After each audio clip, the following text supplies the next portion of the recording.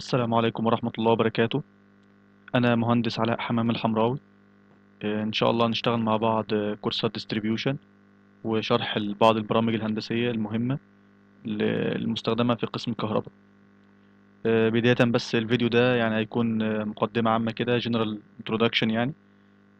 يعني هوضح فيها بعض النقاط المهمة اللي أنا بحب أوضحها قبل أي شغل. في البداية الشغل اللي إحنا هنقدمه ده هيفيد مين؟ هو هيفيد أي حد عايز يشتغل في مجال مقاولات ويكون عنده ال basics أو الأساسيات بتاعة قسم الكهرباء زي الفولت والتيار ويعني إيه circuit breaker الكابل اللوحات وهكذا. لأن المسميات دي إحنا هنقولها في ال course من غير ما نرجع لتوضيحها هنعتمد إن اللي بيسمع هيكون عارفها. مش لازم يكون عارف تفاصيل عنها قوي يعني لكن يكون فاهم أصلا يعني إيه. يعني circuit breaker عارف يعني إيه circuit breaker مش محتاج حد يوضحه بس ولا أكتر ولا أقل. لكن آه، عادة يعني إحنا بنقول إن إحنا بنستهدف في الأساس الناس اللي هي من بعد سنة تانية كهرباء تانية كهرباء power وتالتة ورابعة وكمان الخريجين. طيب هل معنى إن إحنا بنستهدف طلبة إن الخريجين مش هيستفادوا؟ لا الحقيقة إن الحمد لله التجربة معانا أثبتت إن الناس الخريجين واللي شغالين كمان بقالهم كام سنة في السوق بيستفادوا الحمد لله بالمحتويات اللي بنديها استفادة كبيرة جدا يعني. فإن شاء الله يكون ال- الكورس والمحتوى مفيد للجميع. خصوصا اللي إحنا قلنا عليهم اللي هو من بعد سنة كهرباء وانت طالع يعني. طيب هل ممكن اتصالات مثلا يستفاد؟ بالتأكيد. بيجي لنا ناس كتير من اتصالات وناس كمان من أقسام تانية بتحب تعمل آه، إن هي تغير الوظيفة أو حاجة زي كده وعايزة تخش مجال مقاولات. طيب آه، الكورس ممكن ما يفيدش مين؟ الكورس مش هيفيد أي حد شغال في مجال المقاولات بقاله سنين طويلة يعني بالذات في ال- في التصميم. لو شغال موقع آه ممكن يستفاد.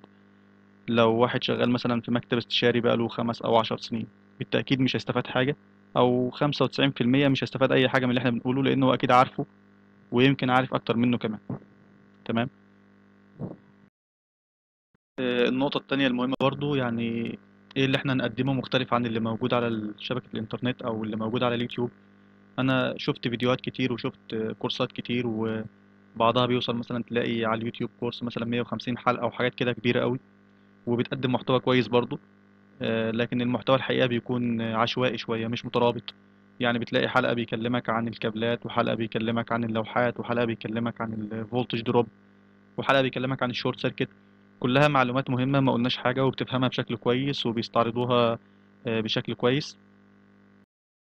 لكن الفكرة كلها إن مفيش ترابط. يعني أنت بعد ما بتسمع المعلومات دي كلها بعد ما بتخلص ال 150 حلقة من ال course هل عندك القدرة في الآخر إنك أنت تاخد مشروع وتصممه؟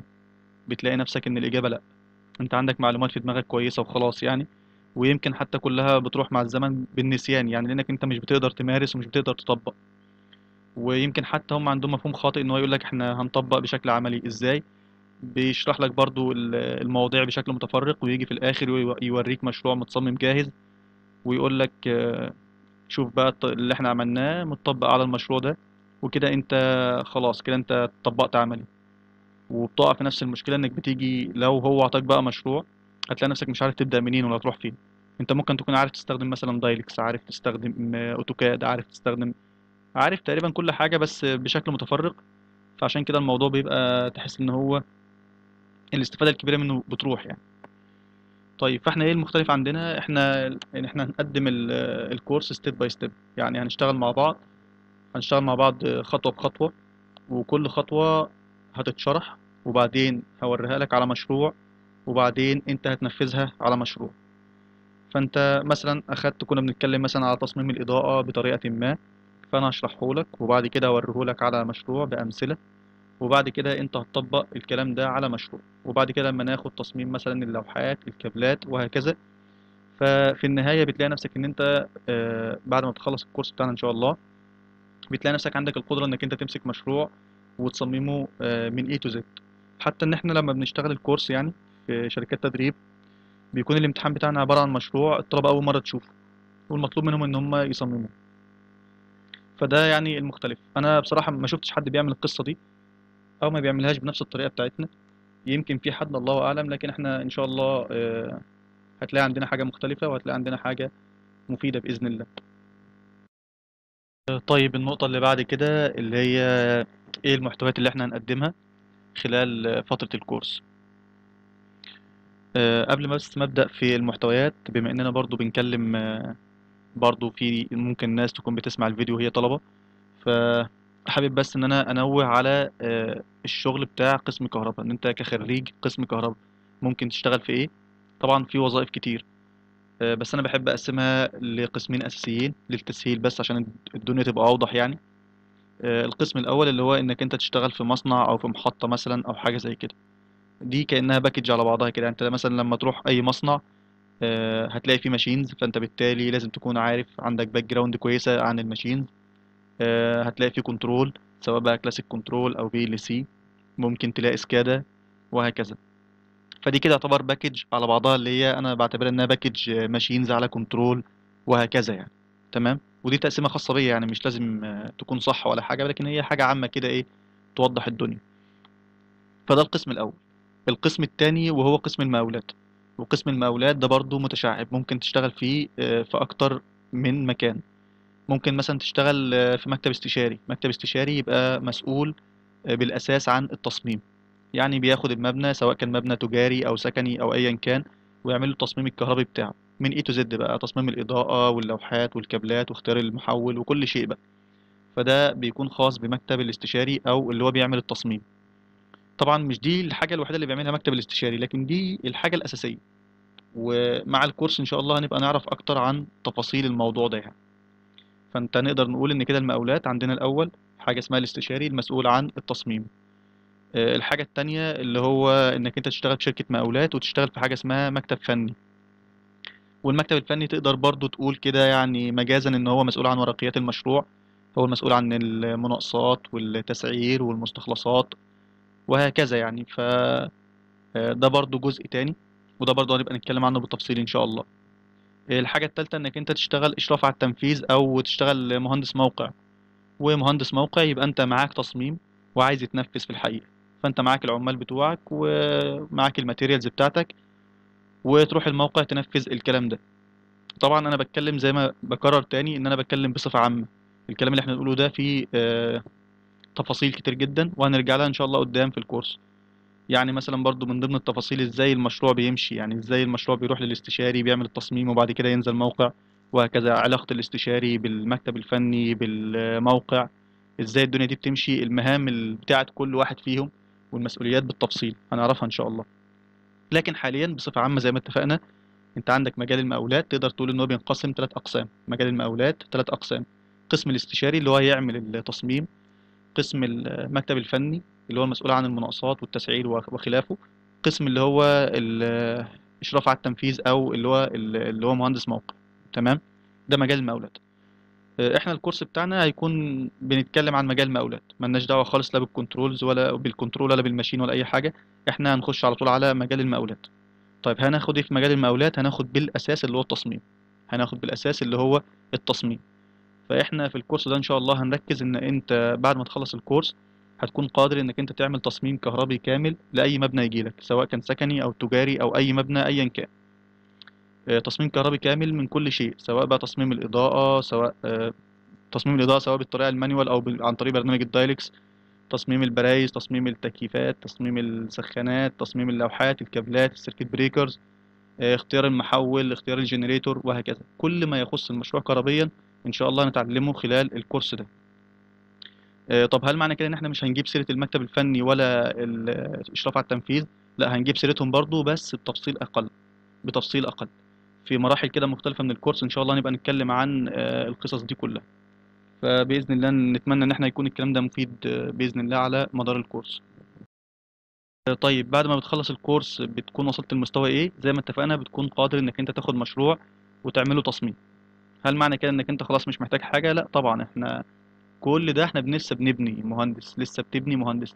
فأنت كل اللي أنت اتعلمته عشان تكون قادر إنك أنت تروح interview فتكون عارف تجاوب وتكون واثق من نفسك وتكون عندك معلومات حقيقية عن مجال شغلك.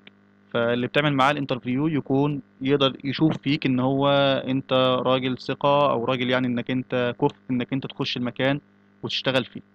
لكن مش معنى كده إيه إن دي نهاية الدنيا لأ دي بس مجرد البداية.